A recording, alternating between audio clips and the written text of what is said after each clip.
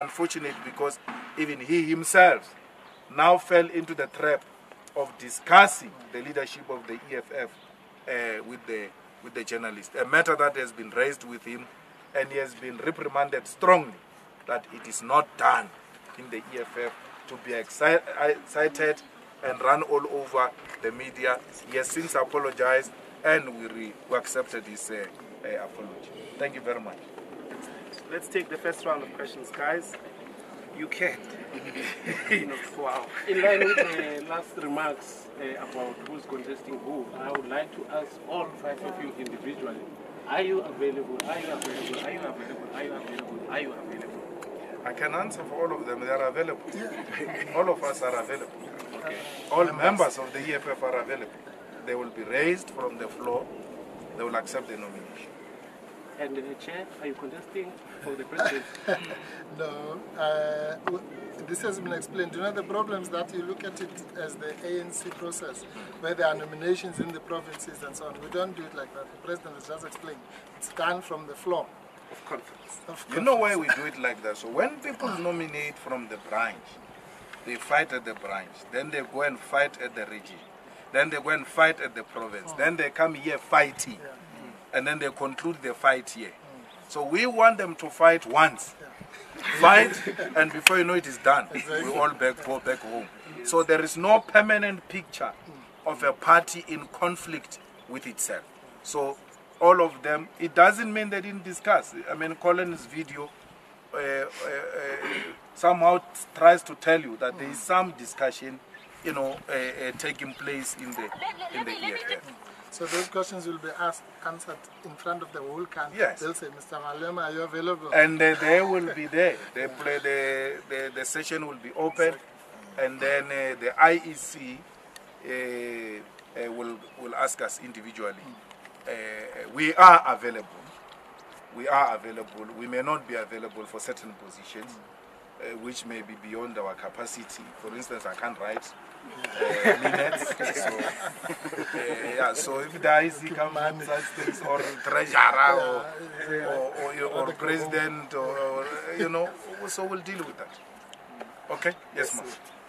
Um, so just on that again, if you are nominated on the floor for the position of president, are you available to accept it? Would you accept it, or are there Okay, let me say certain it positions again. you're not? Let me say it again. Those questions will be answered in front of the entire country. When we say, this is how it's going to work. I raise my hand, I nominate Mr. Julius Malema for the president. Then they go to him, Mr. Malema, are you available? Yes or no? Then the whole country will know. So we can't now, if we want to start factionalism, we start answering those questions that you're asking us now. Because now it's going to be, oh, so and so is available, not this one is not available. This organization will never be factionalized. So all those in the media who are trying to factionalize this organization are going to fail because we have no time for factions. We have time for contestation if we contest or no contestation if we don't contest. And contestation must never be confused with uh, factionalism. Okay. Okay, um, just two questions from me, CIC. Um, you're going to Nigeria. Perhaps just please um, tell us about your visit there and the significance of that visit. Secondly, last week we said you were in studio and you spoke about the partnership between the EFF and the DA. Um, the EFF had said they, they will consult and get back to us. So, in light of the report, the organizational report from the DA saying that it was a mistake for the EFF and for the DA to actually get into a partnership, what then will now happen? And then has the ANC tried to reach out to the EFF in terms of forming something within the city of Johannesburg? Well, uh, I just landed this morning uh, from Baku, uh, from a non-aligned movement summit, uh, representing PAP, but also going to sell the gospel of uh, the EFF. Uh, we are continuing with that work. We're now going to Nigeria. Uh, we'll meet uh, different uh, stakeholders, members of parliament, different governors, different organizations to try and sell the EFF International. Uh, we have taken a conscious decision to engage uh, with the international community because uh, some of us are ashamed that SG's report is going to be very empty when it comes to international relations. We have not done very well, and it's a responsibility we must accept that uh, when we assume responsibilities in the political formations, we should know what it entails, and we should take those responsibilities with seriousness. Uh, a lot of interest has been shown uh, in the continent and international uh, towards the EFF. But the EFF doesn't grab that opportunity with uh, both hands. Uh, and I don't understand. Maybe the SG, when he gives that report, he will explain why did we fail to appreciate the fact that the continent and the international community, including the diaspora, is receiving the EFF very well, but the EFF is not uh, responding. In the discussion document, one of the areas we are raising is perhaps to get a full-time person to deal with international relations. Uh, because you can't call yourself an internationalist, yet you've got no presence in the other you know, international platforms. And people are beginning to understand the EFF the way they are being told by the media as a fascist organization, as a racist organization, uh, as an anarchist organization. That Marxist Leninist international character of the EFF disappeared because of laziness and the ability to appreciate that uh, we cannot be an internationalist movement but spend most of the time in Alexandra. Uh, uh, we, we ought to locate the struggles of Alexandra into international uh, politics. What's happening in Lebanon, what's happening in Chile, what's happening in Venezuela, what's happening in Cuba, in Zimbabwe, uh, and all, all over the world should be understood so that we don't think we exist uh, in isolation. Uh, so that's the work I, I, I will be doing uh, in the next few days towards the, the, the, the conference of the EFF. Um, you know, I, I get somehow worried that every time there is a position available in the municipality, people talk about giving it to the ANC and the DA, including some leaders of the EFF. When you talk to them, they say, no, there is that type of MMC in TA, maybe, maybe not. But they never talk about the EFF. I don't understand. I don't understand why people are not talking about the EFF. After the EFF said, we are ready to govern. Leaders of the EFF tell you about other MMCs from other political parties. The media ask you about the ANC and the DA. They don't ask you about the EFF. so I think that we, we ought to look at this thing broadly. You know, opportunism is going to kill this movement. If we can start identifying talent amongst our own comrades, where did Mashaba get experience from? Where did Solly get experience from? And that new one who wears ugly suits in China. what did Mokgalapa? Where did he get the experience from? We've got now well experienced leaders of the EFF in municipalities.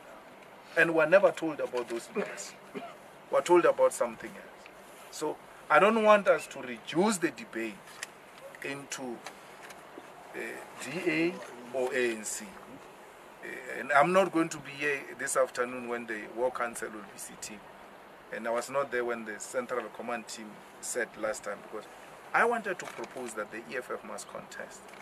And it must contest without talking to anyone. We must contest.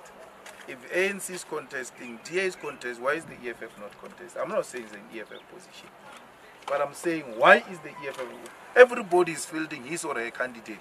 You are always looking at other people's candidates. Why can't you field your own candidate? And even ANC people and DA people who are somehow talking to the EFF informally, they're being disrespectful because they speak about their candidates. They don't say EFF can give us something. So that disrespect must come to an end. I, I, I, I don't take it very kind. I think it, before it was understandable, not now. And uh, Mashaba's plea, if you go and talk to him, has always been please release the EFF people to come. I want to lead with them because I've seen a huge potential in the EFF than in my own political party.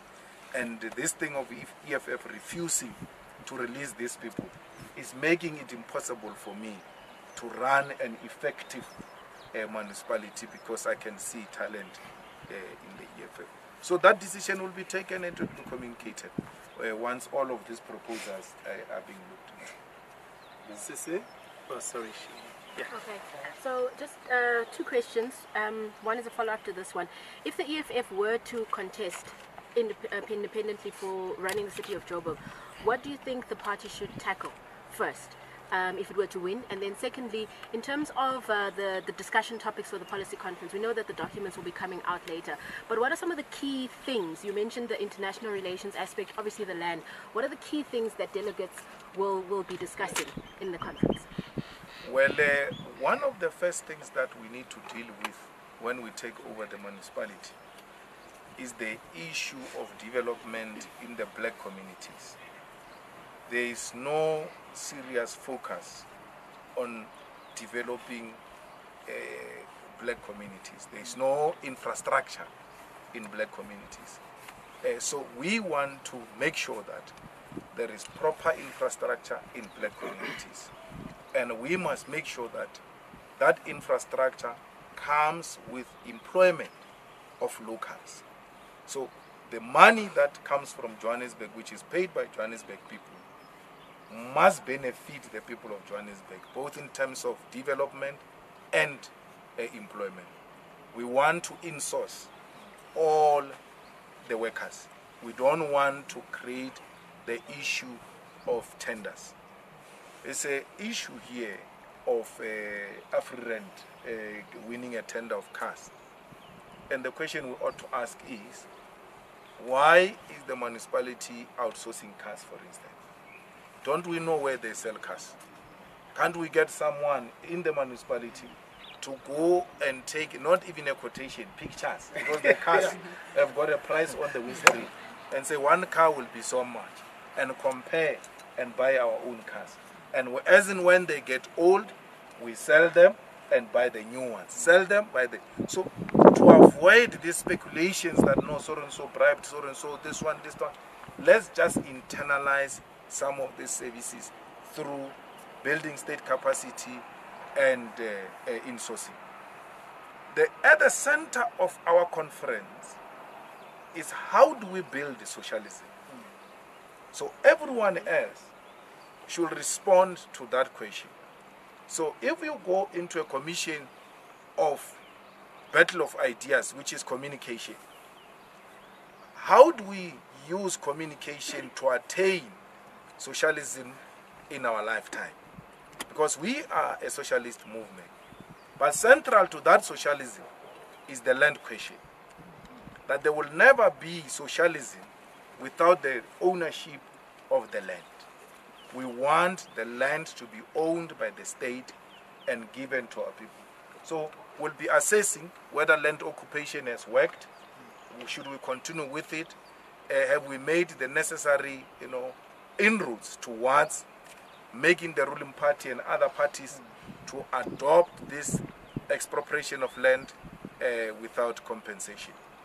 There's a problem in South Africa of health. There's a problem in South Africa of education. We ought to make education accessible from uh, uh, uh, early childhood development until the first degree. It must be free. So delegates are going to discuss that. We want primary health care. And some people are arguing that no, we actually need tertiary hospitals, not that thing of primary health care, because in tertiary hospitals we can accommodate even the primary health care, but primary health care can't deal with tertiary issues, but tertiary can deal with primary. So we're having that discussion because in South Africa, the public health system has collapsed. Uh, there is no hospital that we can refer to as the type of a hospital we want to build in this country. So those are amongst many other issues uh, that uh, uh, we'll be dealing with, uh, DP, on, on, on, on discussion document. Yeah, that, that, that, those are the central issues and, and, and a clearer focus on the economy as well. What do we do with an economy that has been stagnant for many years, uh, has not been absorbing people into employment. what do we do? What is our interpretation of the fourth industrial revolution, and what are the challenges that they come with? So that is that is broadly what we're going to be looking into, and then of course the organizational redesign perspective will form a part of the discussions in all the commissions. So that is basically what we're going to be looking into. In relation to the conference and specifically with the video that came out from Mpumalanga, there are people who are saying that this conference is purely to just rubber stamp a list that has already been uh, welcomed and put in place. What is your response to that? That's their view. I mean, uh, conference, all types of things happen. That's their view. Uh, uh, uh, uh, we didn't call conference. The constitution called for conference. So it's not like we said somewhere and said, no, let's go and rubber stamp something. No, we are required to be here. We, must be here, whether we like it or not. We are here. And then all types of issues uh, uh, will be raised. You know, leadership is discussed everywhere. People have preferences. Uh, I was uh, learning this morning that some of the leaders are even calling uh, regions uh, and saying, hey, I thought you were my friend, but now your region is not even nominated. so the levels of disparitions have gone to that level. You can't do anything about it. People are trying all types of things. Does it violate, uh, violate the, the constitution? No. Does it undermine the integrity of the EFF? No. So, so be it. It must be criticized. This list or that list. Let people say what they want to say. Really, I mean, uh, we didn't call ourselves. We are convened here by the constitution of the EFF. We're not bought somewhere and said, let's go and endorse some list. and Come, come, come. No, we're convened here by the constitution of uh, the EFF. Whether we want to be here or not. If it was my wish, we should just continue like this. Eh? But there's nothing I can do. Like Mr. Tama, when we went to the first conference, when we went to the first conference, Mr. Tama said, President, can't you just read the list? and go home. Unfortunately, I can't do that. So we are all going to be subjected to that test. Um, Just a point of clarity, Bizaga from News 24. Um, in terms of your committees, will you have chairs of committees that you could possibly engage with before uh, uh, the I'm not sure if it will happen before, but the, the chairs and the scribers will be there. Uh, and then um, when commissions come to report, the scriber of the commission, the chair of the commission will come to make those. Uh, but if there is a special request, um I'm not sure if we have concluded the scribing and the chairing of uh, commissions. The names are not there. We have just uh, we have not yet finalized. Yeah. But uh, it's not a it's not a, a big issue. If you want to engage someone who's presiding over a particular commission, uh, surely communication will make sure that such people are available. And then CIC, um, I'd spoken to a couple of your members who've been talking about the constitution of the EFF and how they want changes and amendments of the constitution. Is that open to, to debate? well? It is the constitution, the constitutional amendments, is actually going to be is going to serve in the plenary because some of its implications may affect the elections of uh, top six or even additional members. There are people who say increase the number of uh, additional members. There are people who say no, reduce the officials. And so it will come, and then in the plenary. Uh, but it's not going to come in a rowdy manner. Uh, it will have to be this province, uh, supported by this province, moves for this type of an amendment. Then we can put that amendment uh, to the constitution. But there are certain fundamentals. So even if you change the constitution of the EFF, you can't deviate from the founding manifesto of the EFF, which are core founding principles of the EFF. So let's say, for instance, someone says, let's do away with cardinal pillar number of tenders. Seven. Number seven. Let's six. Yeah. yeah. Five.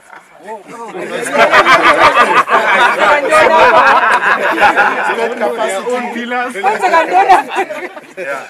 So We'll have a when- workshop like if this. When someone says, no, that uh, clause on tenders is wrong. Uh, uh, let's not have a, a, a, a, a cardinal pillar that says we are going to scrap tenders. We must have tenders uh, and all of that. the founding manifesto will not agree because those are the founding principles. They are non-negotiable. They are founding principles of uh, the EFF, I- li- like expropriation of land uh, without compensation. You can't change it and say, no, guys, after speaking to so many people, we think now we must say expropriation of land with compensation, with or without compensation. Under the EFF government, it will be done like that. But what happens when the EFF is not in government is give and take. Eh, There will be areas where people say, no, we, we agree with you, we're going to expropriate, but we want to pay. And we'll tell them, if you pay, you don't have our vote, but if you expropriate, you've got our vote. So um, we, we, we, we, we, we are ready to listen to that. The centrality of uh, the central command team is non-negotiable. Now, this is how EFF works. And from time to time, when uh, the middle class makes noise, leaders of the EFF get tempted to want to move away from what is the EFF. So the EFF, it's a, it's an organization that is run from a central point. So there are no provinces actually. So these provinces you see are purely for coordination purposes. The EFF is run centrally as a central command. The decision of the central command binds on all of them.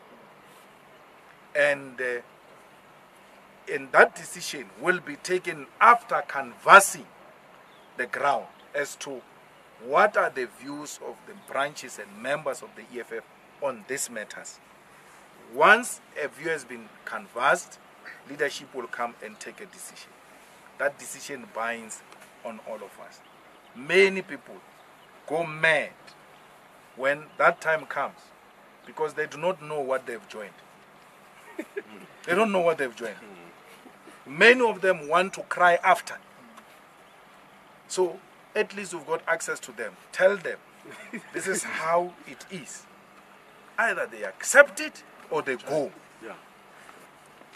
We make this statement all the time. We make no apology about it. They can leave us being 10, better few but better, of quality that appreciate what they've joined. Re tshwere mathata mo man. Ke bo- bo o solwa, Every time there is dishing, they tense. Mm. But they don't know how to cook. So we, we work like that. In the EFF, there's only one office. And that office is going to be opened very soon. You'll be invited. Decisions that are taken from there are non negotiable, they're not open for discussion. We're running a tight ship, Papa. We're not playing. That's why it has survived for so many years. Had we allowed it to be a loose cannon, they would have done what they did to the COPE, to the EFF. They tried many a times. That's why there's always an attempt. It doesn't succeed because of the type of policy we've adopted as the EFF. Mbina Osolo? Mr. Mabina. It's from Power. Just a quick one on uh, as a side note. You spoke about the economy and uh, your minister was the, uh, uh, on the podium on Wednesday. Any expectations from the EFF um, when Titombo when he uh, delivers his medium? No, well, we've given up on Tito. I mean, he, that policy released, um, um, even without discussing it with the ANC, his party, and the alliance, tells you which direction these people are taking. Um, they want to privatize everything. They want to uh, uh, please white capital because they are saving through the mandate of white capital. It is white capital that gave them money, and they have to make sure that they repay that money. Look, people can't spend one billion, one billion on you, and expect them to make one billion back. You know, it's not an investment. These people are still going to make billions. They've put one billion and expect to make billions. And any policy that comes from Tito and Cyril is going to do exactly that.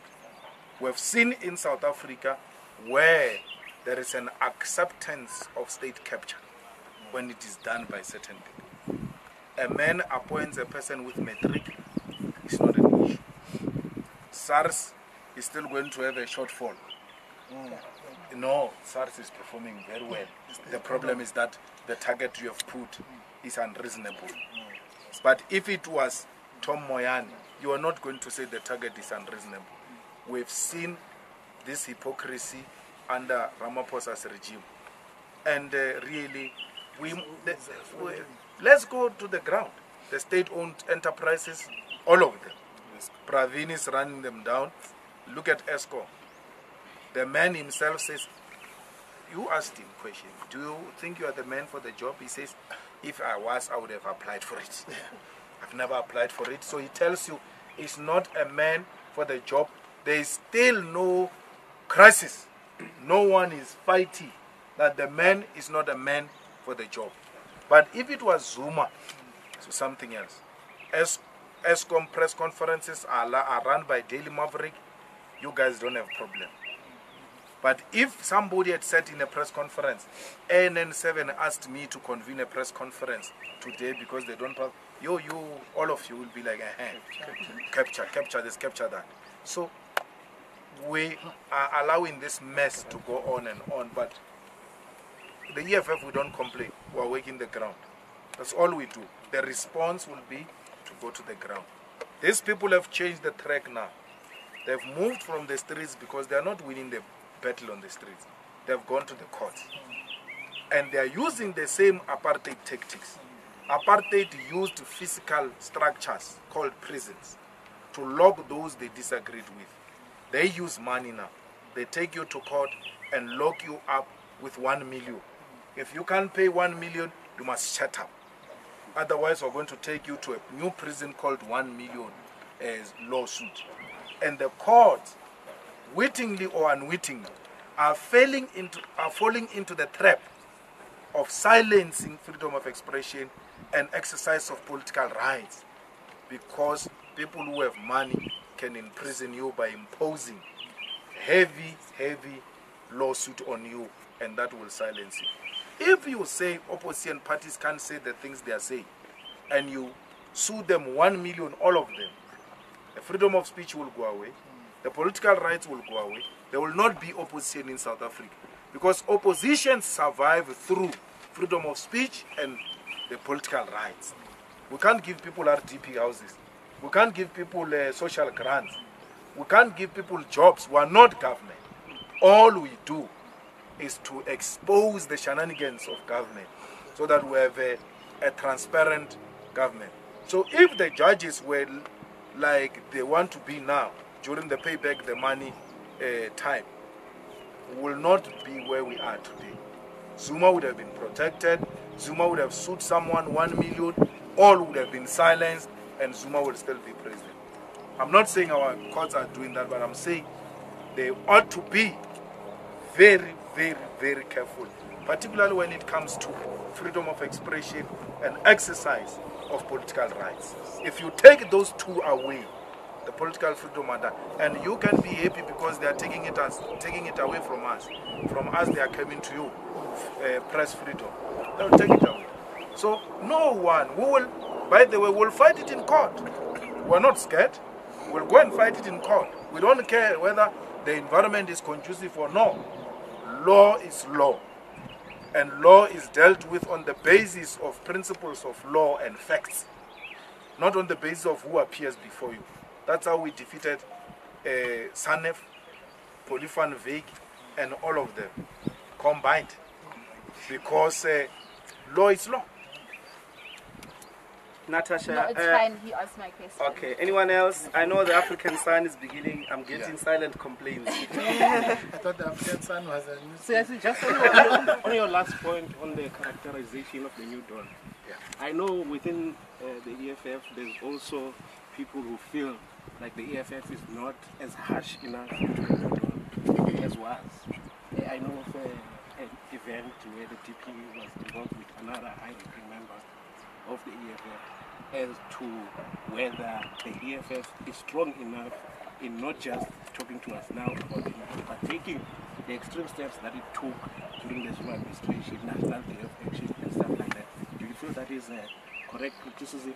Second, on the redesign of the organization, where does that put the EFF steering command and also is there discussion around the formation of a, an EFF winners league?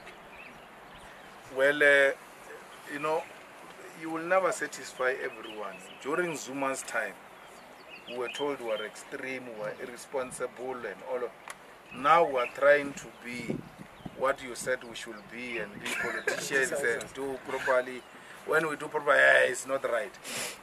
That's why you ought to stand for something. If you don't, you become a political amoeba. You will be shapeless. So, uh, the EFF during Zuma's time, it didn't just start with noise. It went, it went, it went, it went, it went.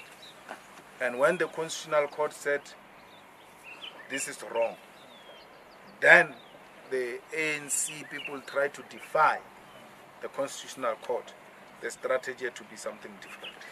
Because now you are defying the highest court. Cyril's emails are in court. Pravin's uh, thing is in court. The rogue unit is in court.